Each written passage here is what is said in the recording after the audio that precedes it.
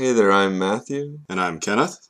and we just finished watching Star Trek V. Star Trek V is about a charismatic Vulcan named Sybok who uses a combination of his philosophy to embrace emotion and the power of mind melding to remove people's pain and develop a sort of following around himself. And he wants to use this ability to venture to the center of the galaxy beyond the Great Barrier to find the fabled Garden of Eden in the Vulcan cosmology. And of course, the starship he chooses is the Enterprise, and that's why this is a Star Trek movie.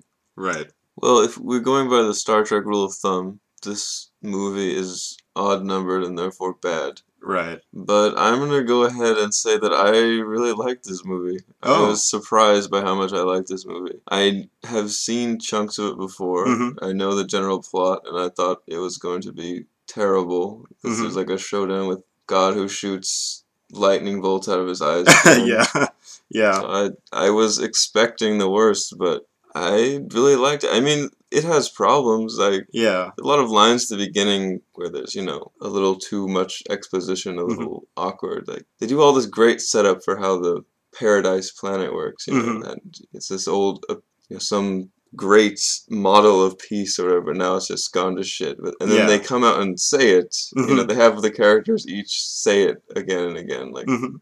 you know, I, I got it the first time. So I kind of cringe when I see things like that because you know you, you Yeah. showed without telling, and then you Right. you told me again. yes. Yes. But I don't know. It's got some great stuff. I think the best scene in this movie for me is the confrontation between uh, Bones, Spock, Kirk, and Sybok. hmm We finally get to see what it is that Sybok is doing. He's not brainwashing people. He's just using some kind of technique similar to a mind meld, I guess, to Mhm. tap into what their deepest pain is and revealing it to them, and then giving a kind of he's kind of like a cross between a psychologist and a psychic or something. He's trying to help them deal with it, but in a way that is advantageous to himself. He kind of comes across as like an evangelical, uh, you know, preacher and uh, you know, televangelist kind of. Right, but I love the the bit where Bones and his father, right? He he Bones kills his father, and this is his ultimate painful memory that Sybok wants to remove, right? Right. But so why is it painful? We see it through the scene. Well, obviously he loves his father and hates to see him in pain, and he also hates to harm his father, which is what also what he would be doing Right. by killing him. So what does it really mean to take away the pain? What can it be other than letting go the kind of attachment that he has to his father, right? You see, this is kind of a theme in a lot of uh, religious traditions where you say, well, you have this pain, this pain is caused by attachment. You, know, you just got to give up attachment. It sounds like a very neat little formula when you apply it to like piles of money or something. Mm. Oh, you need to stop caring about piles of money. But when it comes to family members, all of a sudden it's starting to sound a little bit crazy. And when Yeah. Kirk gives the little defense where I don't want my pain taken away, I need my pain. I think that that's that's probably the most compelling and interesting ethical argument that I've ever seen in a movie. Well, I mean- that's that's that's You- quite a statement there. You don't movies don't have things like this. Where did this scene come from? Yeah. I mean, I can't think of another movie where a main character takes kind of an off kilter or controversial position on a really common ethical issue hmm and it was interesting or convincing to me in any way. Um, that whole scene was really well done. I agree. Um, uh, the whole thing with Kirk, he's the he's the skeptic, and throughout the whole ending sequence, he's constantly questioning everything that's going on. He's right. He's proven right in almost every every element of it. Just what does God need with a starship, you know, and all that. But that scene in particular, though, I liked how it called back to the beginning. So where Bones is dealing with his father's death. Um, he, at the beginning of the movie, Kirk is climbing El Capitan in Yosemite, and Bones just goes on a rant about how life is far too precious to risk it on stupid stunts like that. He values life so much, and he regrets having killed off his father because there was a cure to his father's disease after he had euthanized him. And he goes on this long speech. Just it connects those two aspects of Bones' character, which I thought was really good. And I also like the subtlety with which they showed Spock's pain. His whole thing throughout the series is that he always gets this feeling that his father kind of resents him because he's half human and the human element of him that makes him go off and be a Starfleet member instead of being uh, someone high up in the Vulcan society. There's a certain problem that he has with the you know his fa- between him and his father and that that manifests from the beginning from when he was born and i like the subtlety of that especially yeah And that's another great part of the confrontation scene with Sybok, right? What does Sybok see as Spock's greatest pain? The fact that his father sees him as human, yeah right? And yet, and when Sybok asks him to come with him, what does Spock say? He says, "Well, I'm not that person anymore who's an outcast. I I have this thing I belong to. You know, Mhm. I'm part of the crew of the Enterprise. And so being like a human is integral to the way that Spock is, and to sort of erase his pain, right? Of not worrying anymore about his father thinking as human. That is what has brought him there. It's what made him has made him what he is. yeah So I don't know. It's just it's interesting. It's a nice little argument, and they don't spell it out for you. They just give you all the character elements. Mhm. And I kind of regret actually that we don't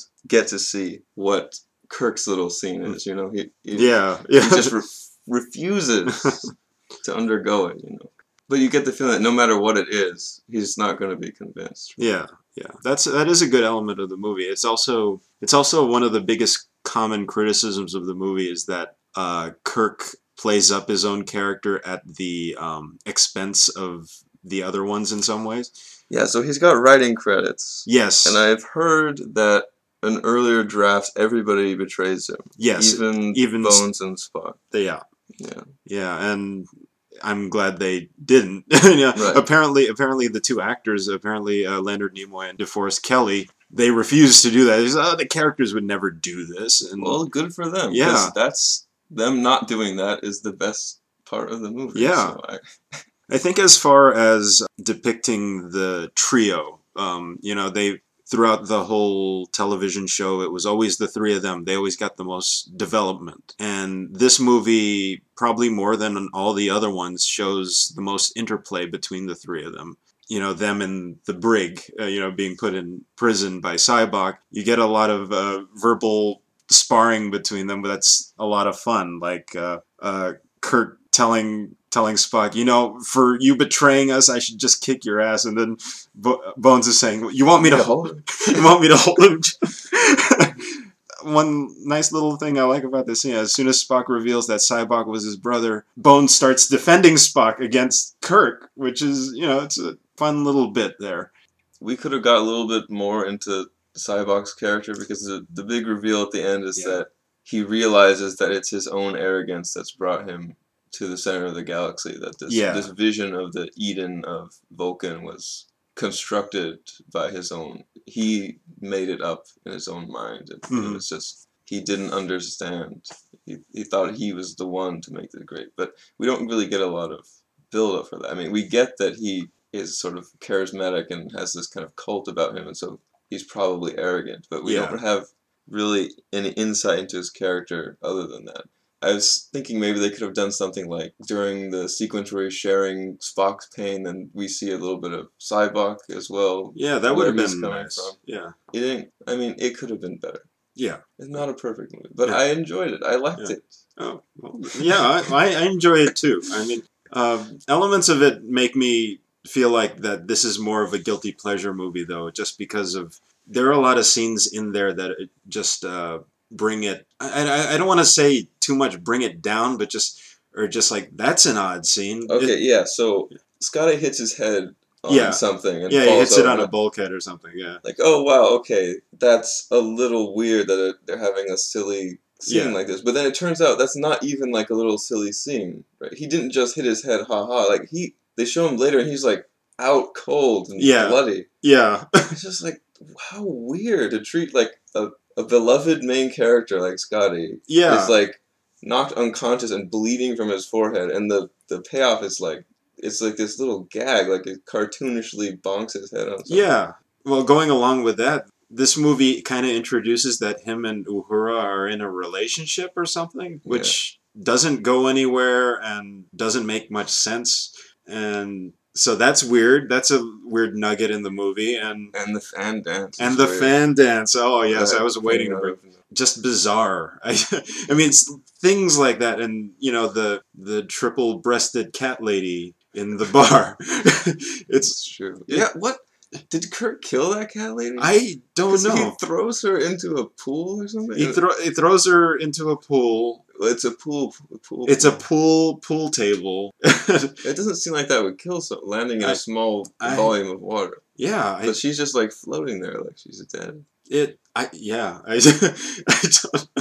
It's yeah. It's little bizarre things like that, which I think. See, I like I said, I do actually enjoy this movie as well, but it's um, things like that that make me kind of hesitant to say that just because these little scenes are the kind of things where if they show up in a movie, it's like that can almost ruin a whole movie. It's like, how am I supposed to take certain elements of this seriously when other parts are just so completely bonkers and not even like in a funny way. I mean, there are funny parts in the movie that I enjoy. Like all of Spock's dry comments throughout the entire movie have been, were you know, were a, a lot of fun. But but then things like that, like Uhura and Scotty, their relationship thing was supposed to be played off as a joke. Uh, Sulu and Chekhov aren't given much of anything to do. They're just given a couple of gags in the movie, even though well, Sulu had a nice part though, where he had to pilot the shuttle back into the Enterprise manually.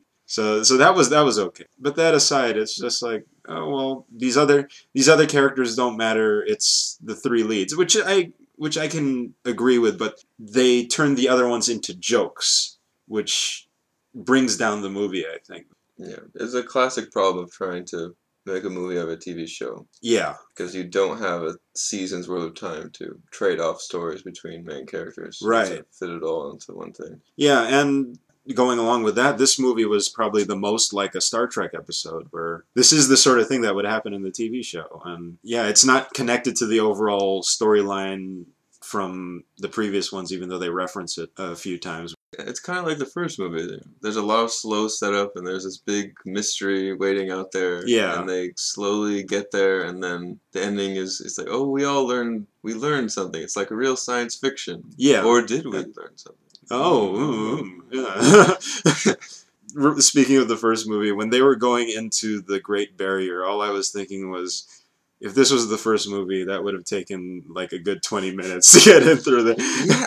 Okay. There's a a shot in this movie Mm. that replaces the whole scene in the first movie. So in the first movie, they're looking at the Enterprise from the shuttle, and it's just taking forever. They're just staring at it. Right. In this movie, what do they do? They're going in a shuttle to the Enterprise. They give you a shot from outside the shuttle through the window. Everybody's looking out, kind of in awe. And you Yeah. see on the glass of the window is the moon, the reflection of the moon, and the silhouette of the Enterprise Yeah. in the moon. It's just, that's it. That's the perfect shot to convey what Yeah. is going on. It's just, it's great. Yeah. That silhouette is all you need. and then moving on, right? We yeah. It doesn't have to take 20 minutes to get to the. It's interesting. Yeah. It's kind of like a rewrite yeah. of that movie. It is. It is. Yeah. I don't know. There's. I'm I'm kind of conflicted on this movie because I, I do I do enjoy it, but I see the flaws and they do stand out to me, and they've stood out to me more over time because you watch this in context with part two and part six, it's not even close. But you know, it's an enjoyable movie in its own right.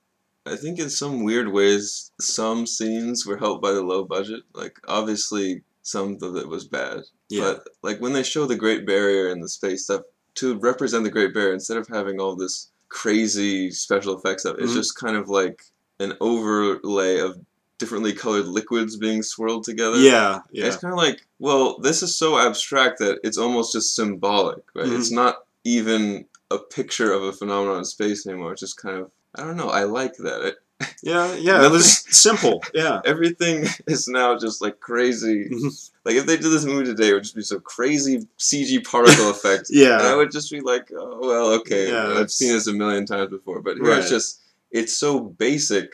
It's a little bit more powerful, I think, when it's simple.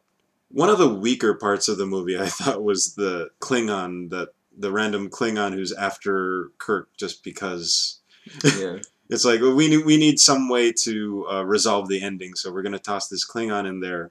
he's going to make some conflict in some parts, but in the end, it's he's going to be used to resolve the the movie, and it's if they turn his plot line into like a serious thing, like he hates the Federation for whatever reason, that could have been like a neat thing where you're watching two plots converge at the end or you know something a little more. And i liked uh, i like that general guy who basically puts that klingon captain in his place but it's like he has a character arc at the end all of a sudden. I mean they they constantly mention him oh he's like a washed up klingon uh, and he's fallen out of favor and then at the end come on do something and then he's like all right i'll do something. Yeah, I think that the Klingon captain is interesting. It just is not helpful to the plot of the movie in any way. Yeah. it kind of shows that there's some other references to this in the show, but the the Klingon Empire is kind of getting a little bit decadent and ridiculous with the whole warrior cultural culture thing, Mhm. getting to the point where people are proud of just like blowing shit up for the sake of yeah and it, it's less to do with honor and more to do with just killing things. And this guy is he just he's just shooting you know space probes and he just he wants to kill something and oh I can kill Kirk. Yeah and then when he gets the opportunity to just basically murder Kirk in the show he just doesn't hesitate. He's like all right we're just gonna shoot him. You yeah. know, that's not honorable. Right. So it, it gives a little insight into how the things may be going badly for the Klingon Empire in terms of its uh, leadership, perhaps, but it has nothing to do with the plot. so Yeah. Therefore, it's not that great. Well, yeah, they, they see that plot line. They could have done something with that, but yeah. So there there are a lot of holes and such in the movie, but um, there's a whole little sub, uh, not really a subplot, just an element of it where in the previous film they get a new Enterprise, and then they reveal at the beginning of this movie, well, it turns out this Enterprise is a big pile of crap because the doors won't open and so on, and it's like it's a running gag throughout the movie, and they kind of use that as just a, a plot excuse to make the transporter not work. So this is this is like Into Darkness, where it's like the transporter never works, and that kind of uh, makes it so the plot can happen. Yeah, the transport was a terrible idea. yeah. I think there's a uh, quote by J.R.R. Tolkien where he says that he kind of maybe regretted inventing the Eagles because they just cause too many plot holes or too many get, get out of jail free cards yeah, And I don't I don't know if there's a similar quote by Mhm. Gene Roddenberry about the, the transporters having, but there ought to be because the they just it, they're too powerful. yeah, They're too good. yeah. They're they're too good. It's, it's just you need them out of commission in order for, to have a plot, and it's like you got to do this in every movie now. Where it has its limits. You can't teleport someone if uh, if the shields are up and so on. But this one just took it to the nth degree. Nothing works on the ship. You know, well then why at the beginning didn't they get if uh, that admiral at the beginning wanted Kirk to go on this mission? Why didn't he give him a ship that worked? So Well, I don't. You could- kind of say that it's kind of a diplomatic resolution thing, and Kirk has a lot of clout. and seeing the Enterprise would be, oh, it's the Enterprise. See, that raises other questions too with Sybok, though. Like, how did he get on Nimbus three at the beginning? If he if he's able to get a ship that to take him there, then couldn't he use that ship to also go through the Great Barrier? Why does it have to specifically be a starship? He doesn't. Do you think that was really William Shatner on the side of? El Yes, Capitan? yes, Matt. I think it was really William Shatner. He was really climbing El Capitan. Do you think Leonard Nimoy was really flying up the side of El Capitan in rocket boots? It, isn't that what was really happening, Matt? Do you think that was a real campsite with the beans? Were they really eating beans? Is that real whiskey? I hope so. I hope so. You know, all things considered, I think even though this is William Shatner's first crack at the director's chair, I thought he did a fine job uh, as far as the imagery is concerned, especially in that scene that we talk about where uh, Sybok confronts them with their pain. Just the way it's staged and everything was really, really well done. Like it would be McCoy talking to his father, and then Sybok would walk in from out of frame, say something that's relevant to what's going on, then walk back out of frame. Right. It really gives the feeling that he's intruding into Bones's memories and making little hints and suggestions here. Like, Yeah. Just say a little thing and then leave, as Mhm. if you know he's Yeah, poking right in, giving a little. I I like. It. yeah. Well, uh, in the context of the other movies, so you've seen one through five now. Where does this one fit in? I really like this movie. I do. Although I Wrath of Khan is too good. yeah, yeah, it's hard. It's hard to um, usurp that one. Yeah. No, I'll, I'm putting this movie second after Wrath of Khan. Oh wow! Oh, that's great. I Yeah, yeah. I thought this was really good. All right, yeah. I I like it better than the first one, of course. we, this is like the first one, but without all the filler. Um, but yeah, I, I enjoyed this movie as well. Actually, I I don't know if I'm partly influenced by what other people say, where it's just like this is a bad movie. Uh, yeah, I guess I can see the bad parts, but I every time I see it, I I was you know when when we watch a lot of you know schlocky bad movies, Matt, we we're constantly making comments about certain things, and we were completely engaged with this movie. I mean, there were little parts where it's like, oh, this is odd or something, but most of it we were really invested in what was going on. I could tell. It's just we weren't saying much. It's just, oh, this is a, you know an engaging movie. It doesn't really lose me very much. Right. So um, yeah, in that regard, you know, it's underrated. Schlock parts aside. Uh, so maybe this sounds pretentious, but people always say that uh, you know, in order for it to be sci-fi, you gotta like learn something. You know, you gotta Mhm. think about uh, man's place in the universe and all these things. Yeah. And I think this movie does that. And it's not just because it has like a monster that's supposed to be God in it. It's because of the whole ethical question of the, you know, Sybok taking away people's pain and whether if that's even a good thing, whether that's even something you would want, or if you had it done to you, whether that would change you as a person. So you get both of those from Kirk's is the first, and then you have Spock and Bones get their pain taken away, but they decide not to follow Mhm. Sybok. So I think that just that alone, it meets the criteria. It's real science fiction. What do you want? It's it's not you know the new Star Trek movies. Yeah, that's right. It's got the street cred. ah, It's, it's authentic. I think. all right, all right. Well, in that case, good job, William Shatner. Good job. Even though you were against putting that scene in the movie, I'm sure. I'm just kidding. If you're listening. right. Well, um, those are our thoughts on Star Trek Five: The Final Frontier. Thanks for watching. Bye bye.